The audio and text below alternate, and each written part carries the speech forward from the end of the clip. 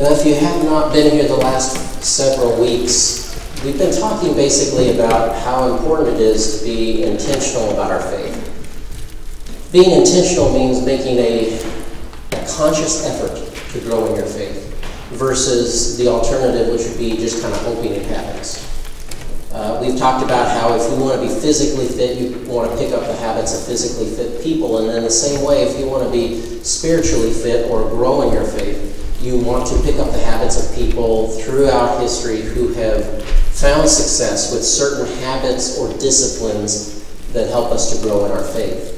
And so, the last several weeks, we've been looking at seven spiritual habits. We've looked at prayer and scripture study. We've looked at worship and small group participation. We've looked at financial generosity and also service, helping other people. And so today we're ready for the last one, the seventh one, which is, we call it by a number of names. We can call it witnessing, being invitational, evangelism.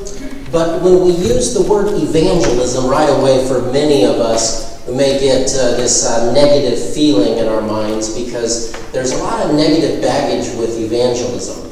Partially because many people have experienced bad examples of evangelism and not so much the good examples.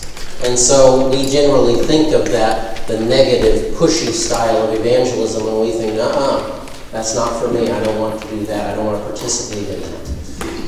Also, in our culture, generally, it's frowned upon to talk about your faith or to share your faith with others, and we don't want to be pushy. And so we just kind of say, yeah, evangelism's nice, but it's not for me. In fact, we may even think it's important, but that doesn't necessarily mean that we're ready to do it. There was a recent statistic in Christianity Today that said that 80% of regular churchgoers believe that evangelism is important, that sharing their faith is important. But 61% of regular churchgoers have not shared their faith in the last six months. So there's a disconnect there. But it's really important that we share our faith, and there are a number of reasons for this. Uh, number one is kind of counterintuitive, and that is that it helps you. Sharing your faith helps you. It helps you grow in your faith, just like the other habits we've been talking about the main idea behind this is that when you, if you're going to share your faith, if you're going to witness to uh, your experience of God, it forces you to articulate your faith. It forces you to verbalize it. And if you have to say it, then that means you're going to have to be somewhat ready. You're going to have to know how it is that God has worked in your life. You have to be able to verbalize that. And that's something that many of us in many churches are not used to doing. We haven't really been trained to do that. We haven't really thought about that very much. Uh, to think to yourself, gee, what would I say if I were to tell someone why I'm a Christian or what that means or, or how God has made a difference in my life? What would I say? So that can help us to grow. Another reason to share the faith is that as Christians, we believe people need Jesus. People need to know that they're loved. People need to know that God loves them. I think of the story of the prodigal son. Uh, Jesus uh, made up this story to make a point, to help us to see what God is like, uh, to see a picture of God that is very different from what many people had thought. And so, in the story, of course, a, a son takes his father's inheritance before he dies and leaves the family and lives on his own. He makes poor choices. He runs out of resources. And then, when he's at the end of his rope, then he decides to come back. And he doesn't think that his dad is going to love him anymore or be able to forgive this. And so he thinks he will work as a hired hand, not as a son, right? Because he's not a son anymore. He figures he, can't be considered a son. But he can work as a hired hand and at least make some money.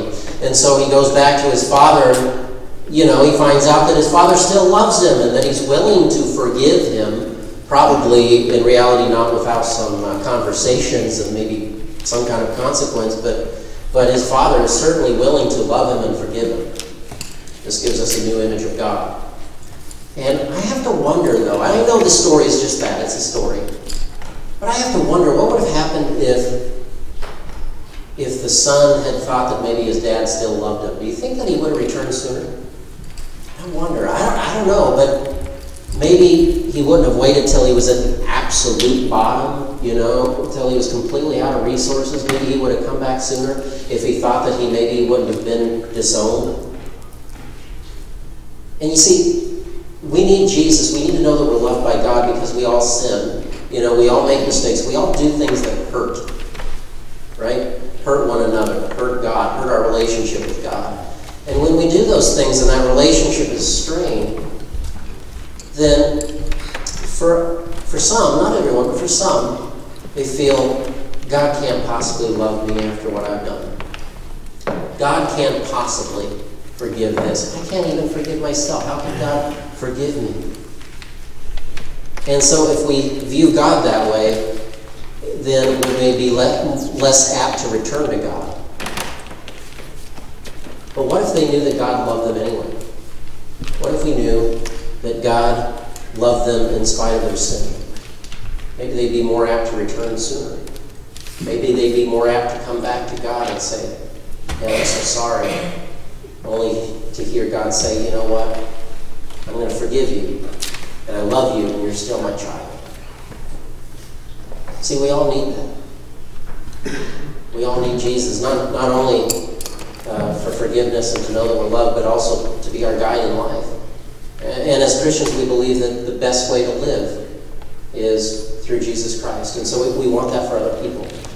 Then the third reason we want to share our faith is because if the church, which is the physical expression of Jesus in our world today, is to continue, then we want to continue to be invitational. We want to continue to share our faith and to share why we believe Jesus Christ is so life transforming.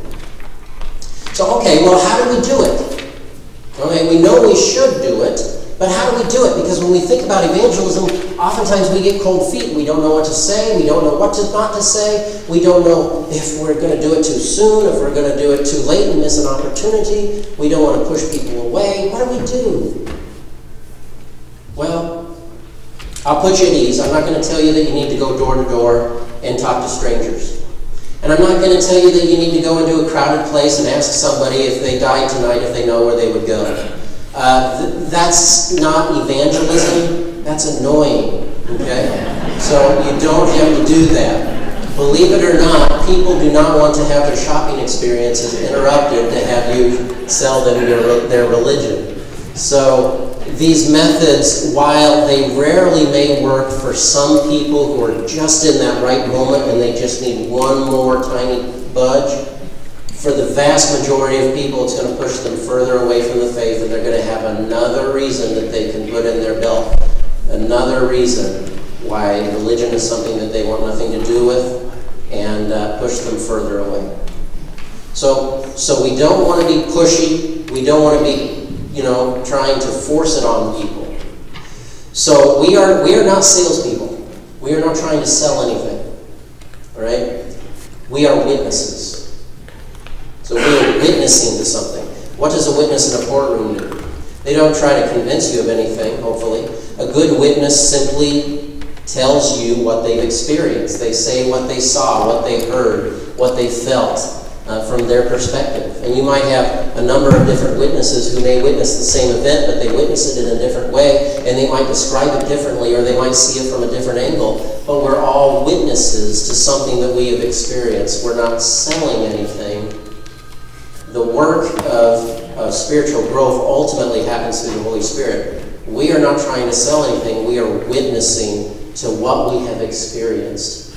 There's a difference uh, for instance, let's say uh, you go into a, a J.C. Penney and you're looking for something uh, to purchase, and a salesperson comes to help you. And that can be helpful, but you know that they want to they want you to make a purchase, and so there's a certain sense of uh, okay, thank you, but they know you, you want to make a purchase. But if you have a friend who comes to you and says, ah, I was just at that store the other day and they are having a wonderful sale. You know, maybe you heard from someone, oh, they're having a great sale at all the businesses on the square in town it, pretty soon, and, and you want to take advantage of it because I took part in that last year, and boy, let me tell you, I got this and that and that, and I just made I just made such a good deal. Well, if you hear about that from a friend, their experience, you're probably much more likely to go. Because you're not feeling pushed, but you know that they experienced something great, and you want you want to get that too. You want to save some money, right? So you want to get in on those sales during the holiday season. Well, it's the same thing with our faith. We're not trying to sell anything, but we're witnessing to what we have experienced. So, this means there is no script. There is no certain thing you're supposed to say. There, is, there are no answers that you have to have. You know, there are no diagrams that you have to draw. You know, it's just, it's, it's you. It's your story. People can argue with theology, they can argue with uh, all kinds of things, but they cannot argue with your experience. Your story is your story. And you might say, well, gee, Mike, my story isn't really that interesting. you know, we have, we've all heard stories from people who've shared their testimonies, and they just have these awesome stories, you know, where they will tell this story about how they were just a complete jerk before they knew Christ. You know, they just they just were rude and they were mean and they did all these horrible things and had these uh, one crazy experiences. And we love hearing those stories. And then they, they experience Christ and their life is transformed in every way. And boy, those are inspiring stories, aren't they?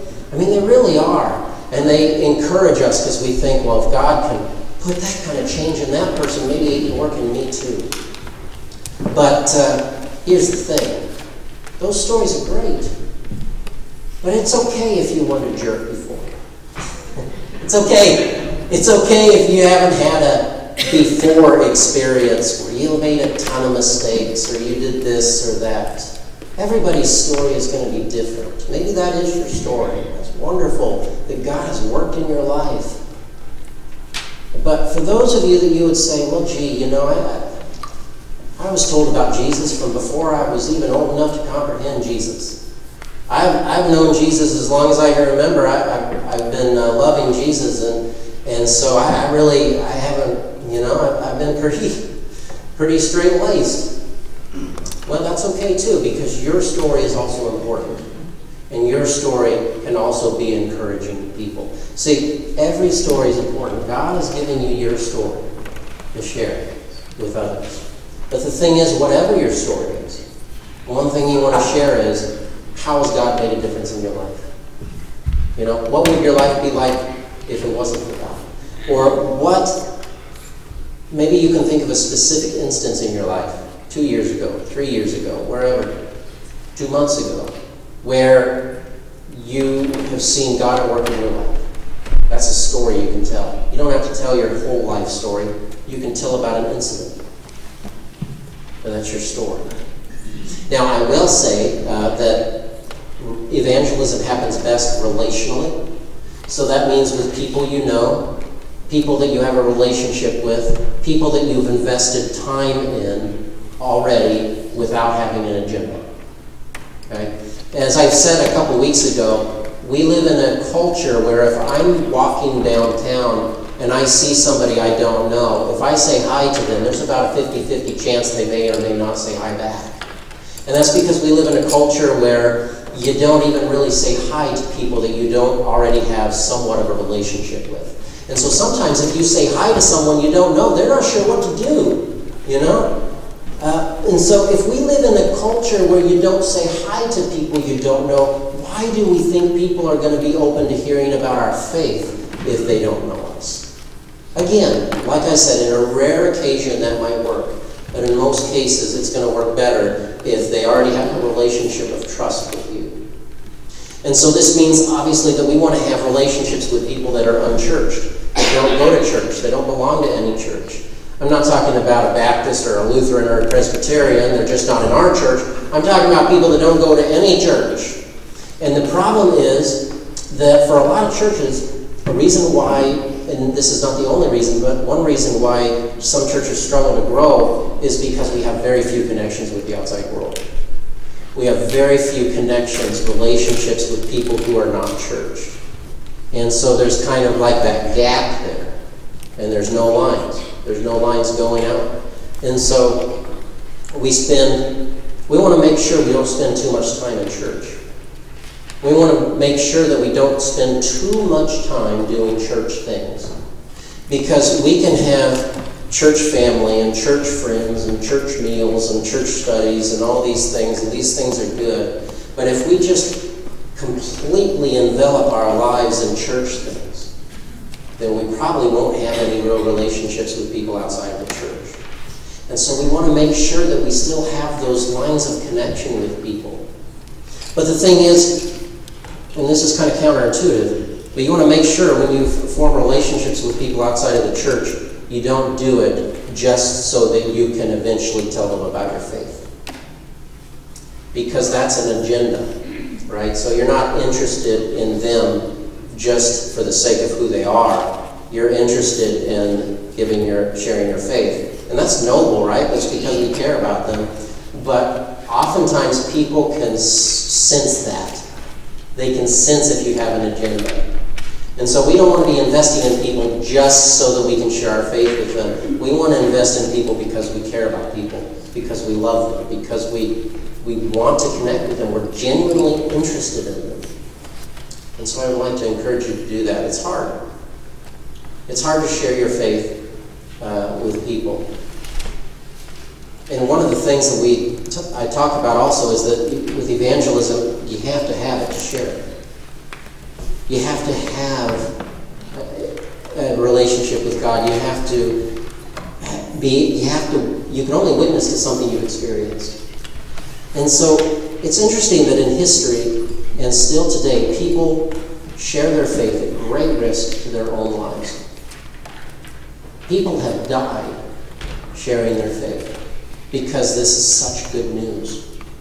what does it say that we are so hesitant to do the same when really there's not really any real risk for us.